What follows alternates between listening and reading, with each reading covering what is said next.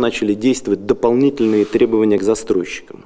Банки получили возможность оценивать целевое назначение платежей, ну а по новым проектам, тем, которые запускаются с 1 июля этого года, право останавливать расчеты, если будут сомнения в назначении платежей. Также должен быть осуществлен переход на использование так называемых escrow счетов для размещения денег самих дольщиков. На первом этапе это добровольные решения будут, но через год такого рода переход уже будет обязательным. Первое, это, конечно, усиливается требования к самим застройщикам.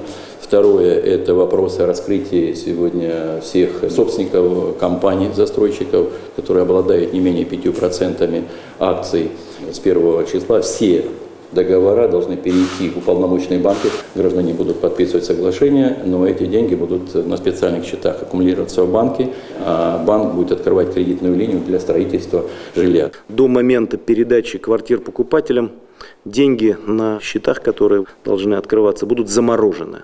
На будущее в целом нужно вообще поменять схему получения жилья, уйти от ситуации, когда стройки ведутся на деньги самих будущих жильцов и перейти к нормальной схеме, то есть через кредитование с использованием банковского кредита, ну, естественно, накопленных гражданами собственных средств.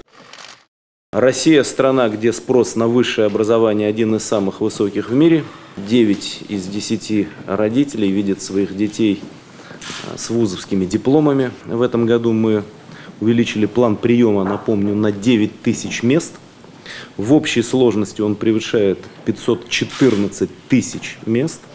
Правительство сейчас разрабатывает национальные проекты в сфере образования и науки. В этих проектах будут сведены воедино и детализированы все наши планы, механизмы их выполнения, заложено финансирование. К 2024 году поставлены задачи по вхождению в пятерку стран-лидеров, по научным исследованиям.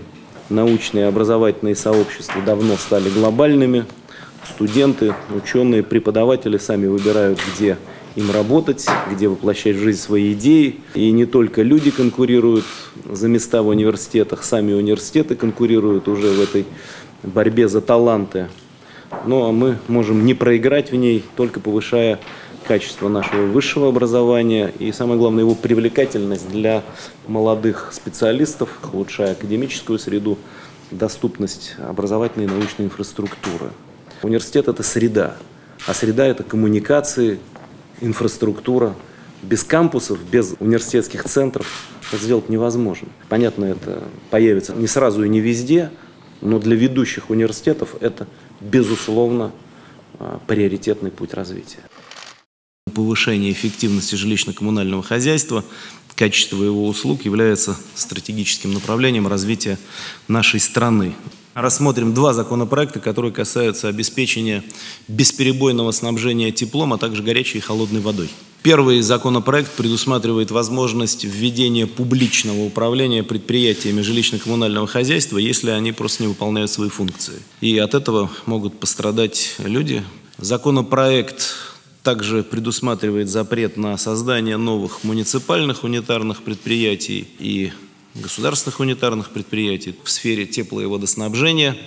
Уже действующие должны быть преобразованы в казенные предприятия в течение полутора лет – Второй законопроект вводит административную ответственность собственников и руководителей жилищно-коммунальных компаний за нарушение нормативов по созданию и использованию запасов топлива. Это поможет устранить лазейки для различных злоупотреблений, в том числе хищений, чтобы топлива хватало для надежного и бесперебойного теплоснабжения. Ну а температура воды в трубах, в батареях соответствовала нормативным требованиям.